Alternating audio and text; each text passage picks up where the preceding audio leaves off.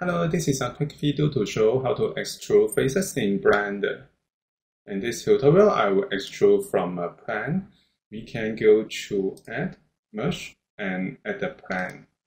Close up the view, and then if you want to extrude this plane, make sure that we select the plane and go to Edit Mode. Actually, we can extrude vertex, extrude edge, or extrude face. For example, I select uh, vertex and then we can press E to extrude it. And then we can press left mouse button click to apply it. And then we can have the panel to change the option of positioning. I press Ctrl Z to undo it. Actually, we can select an edge and extrude it by using shortcut E. So we can move it freely. Actually, we can press X to definite the direction in X or Y. It doesn't work in Y and it works in Z.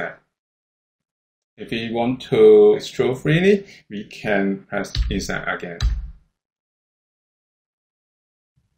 So I undo it. The third option, we can extrude a face. I make a face selection and then select the face and then we can press E to extrude it. Same thing, we can press X, Y, is that to control the direction.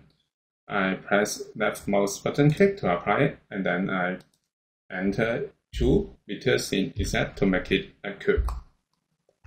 Actually, we can extrude the multiple faces. For example, I select two faces, and then we can press E to extrude the two faces together, and click left mouse button to apply it.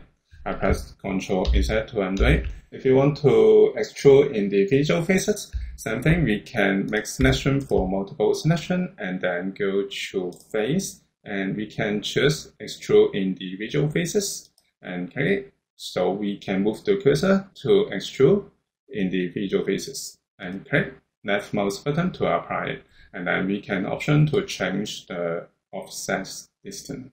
So this is a basic operation to extrude faces in Blender. Thank you for watching this video. Hope this helped. Please subscribe this channel. More video will be shared with you. I'm CG Ian. See you in the next video. Bye bye.